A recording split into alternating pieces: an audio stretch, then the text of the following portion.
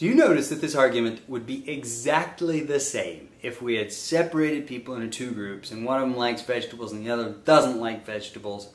And then we do a study and we determine that the group of people who do not like vegetables, all of them have noses.